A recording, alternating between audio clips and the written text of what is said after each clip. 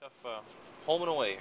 Well, I think we're just trying to take it one day at a time, and we're just going to continue focusing on what got us to this point, and that's just getting a little bit better each day. And it starts in practice, and and uh, hopefully it will carry over into our next game.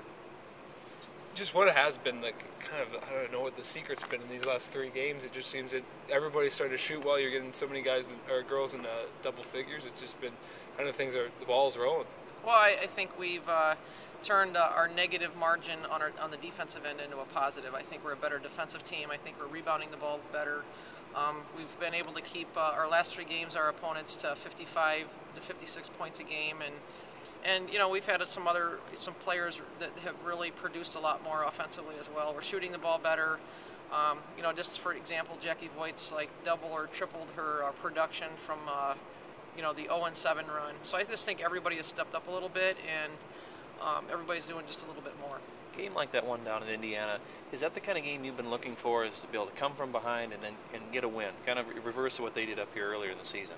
Well, I think it's just finding a way to win. I, you know, you never want to be down by nine points with eight minutes to go in the game, but uh, I felt like we dug ourselves a hole. I thought we showed a lot of character and, and kind of turned the tables, uh, like you said, from the first time that we met them here. So it's nice to be able to see us come back from a deficit.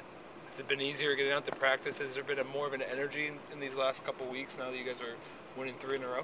Well, our players have always uh, stayed positive. We've got great team chemistry this year. The players have always bought in. They've always worked hard. I think they've seen the potential in this team, and I and they're really no different than they were during, you know, the beginning of the Big Ten. So I mean, that's a good thing that they're staying even keel, they're staying grounded, and just continuing to work hard.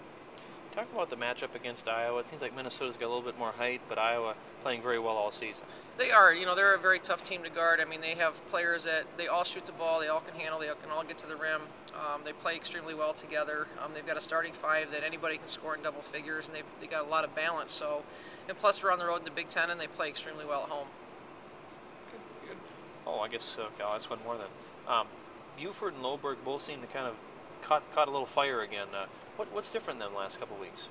Well, I think uh, you know Katie's uh, a lot more confident offensively, and I think she's able to keep herself on the court. I think at the beginning of the year she had some injuries and she got sick, and so she was kind of up and down. And I think she's been able to be a little more consistent for us, just being on the court for us. And you know she's a scoring uh, presence inside in the paint, and I think uh, Kiara's just playing with a lot of confidence right now.